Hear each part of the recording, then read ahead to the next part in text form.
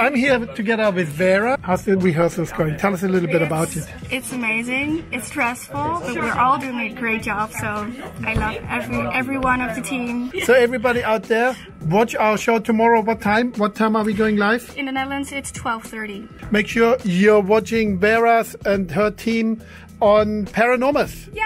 Yeah. We're, we're, we're going right now, So we- actually. we'll walk over there. So, Yeah, so, yeah. so I- I, need to show you. I need to show the the Yeah. set. So I'm, I'm gonna start here on, on this chair, and then we're uh-huh. gonna sit there. We're gonna have some tarot reading. Okay. So someone's gonna read my future, yeah, and then Yeah. we'll have some ghost investigators. What's presenting like for you as a host? It's it's kind of stressful, but it's okay. It, it's it's not that weird actually. I don't know, cause all, all of the text is there. I don't know. You don't have to think that much. Ooh, close, far close. So, so what's what's a VT do? What's that like? Okay, so there are uh, a few segments, Yeah. uh, like the field segments, and I have to play them. Okay, just in time for the studio. Yes, You've seen the field segments? Are they any good? they are very, very good.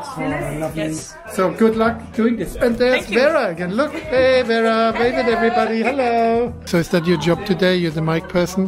I kind of am, yeah. Uh, you're the writer and the mic person. I am, yeah. Isn't it? But what I always liked about sound is you get close to people. Yeah, I definitely do. Really Yeah, good. Th- that's not so bad. It's nice that I also wrote it, so I, I know the person, you know, I get to That's good. interact with them. Good. I like what you did. Yes. That's good. You're the show producer.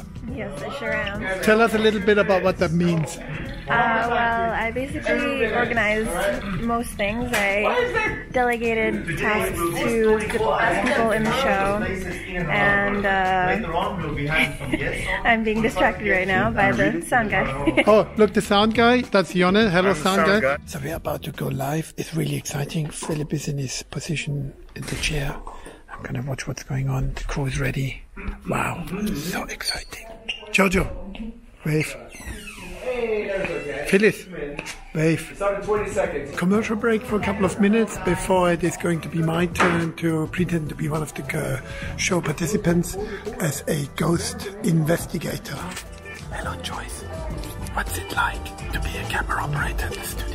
It's very scary. You can sit. I have to go now. Bye. Darren, can you maybe tell us more about chasing the unknown? What you do exactly? Well, yeah, I usually use my polymorphical spectral analyzer here. Uh, it's really great. I can detect ghosts with that, and, and uh, especially if they're little children. So that was an exciting guest performance as guest ghost investigator Darren. Mm. Maxine, Yeah, what's your job here today? uh, my job is the lighting panel. Lighting. Can can you talk us through it? What does it do? Well, we have all kinds of lights. We have lights for the table, lights for the sofas, uh, lights for the presenter, and a light also for the, the whole room. So throughout the whole show, I have to change all the lights to make sure no one is overexposed. Okay. Is it complicated? No, it's it's pretty.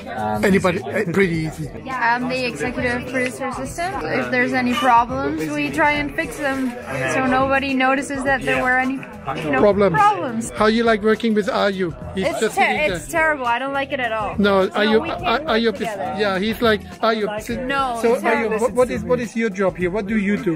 I'm the executive producer um, and delegate everything to every. Oh, you delegate and check. Is that it? Really bad at what he does. He's re- I'm really good at what I do. Wow. you re- but he's really bad at it. It's always my fault. It is, isn't it?